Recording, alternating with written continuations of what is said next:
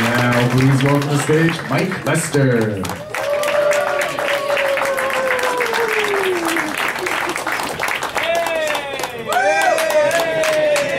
Yeah, yeah, there my four fans. Woo! There they are, front row, baby, just where I want them.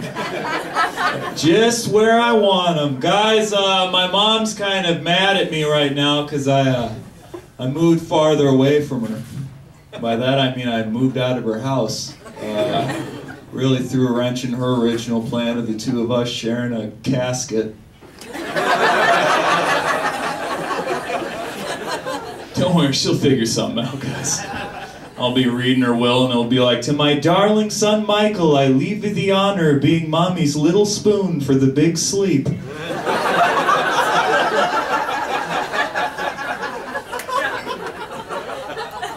My mom's pissed because I moved to Midtown Minneapolis. And according to her, she said, Mike, when I moved here in 1984, there was a prostitute on every porch in Midtown Minneapolis. And I don't want you falling into that world.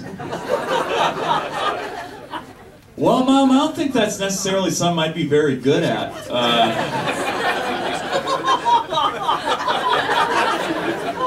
a lot of creeps are looking for a tall ventriloquist dummy to bang. No unloyal husband is gonna screech his Subaru to all and be like, ooh, behold my horny eyes, it's a rough draft of a Tim Burton character. I'm never letting him go. Never. That sultry scarecrow is mine, I'm telling My mom's doing good though. She's doing good since I moved out. She got a new car. Uh, There was a lot wrong with the old car. Uh, the transmission was going out, and someone glued all the windows shut because she didn't raise me right and doesn't deserve to feel the wind. Uh,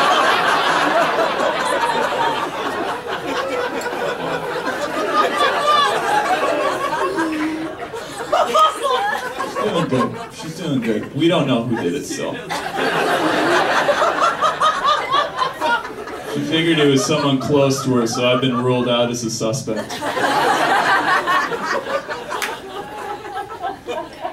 I got a question for you, audience. What business is stealing the majority of our money right now? Shout it out. That's right, co-ops. That's right. That's right. It's just the word cops with an extra. Oh, oh, whose mind did I just blow right now? Whose mind did I just blow? Seven dollars a mango? No wonder everyone that shops there looks homeless. You can't afford rent. I've been gluten free since 2009. Well, tote bag war, you live outside. And everything's so everything's so expensive because it was harvested humanely or treated humanely. Bacon's $8.99 a pack because we fed the pig an all vegetarian diet before we hung it upside down and slit its throat. Oh, how humane! How humane! McIntosh apples are three dollars a piece because they were harvested humanely, and by that we mean white people picked them while singing show tunes. Oh, oh. thank you, Wedge. Thank you, Wedge, for saving me from myself. Thank you. It's a hundred dollars for a bag of groceries. I'm sick of it. I drive five hours to perform in Grand Forks, North Dakota to get gay bash for $125 just to come home and spend it on 10 zucchinis. Is that fair, guys?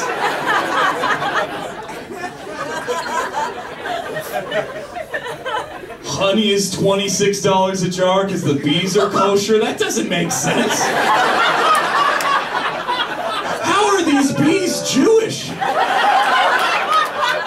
are you finding all these Jewish bees? You give them little bee mitzvahs? Yeah, that's right. I went there. Bee mitzvahs. Oh, yeah. Breaking new ground up here.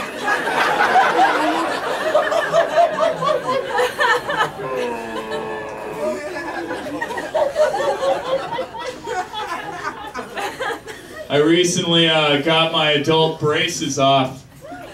Thank you. Thank you, people. I can't wait. I can't wait to get back out there.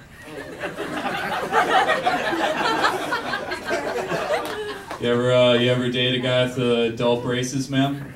No, of course you haven't. You've never taken the old cheese grater ride, have you? Hey, that's my time. Give it up one more time for Mike Lester.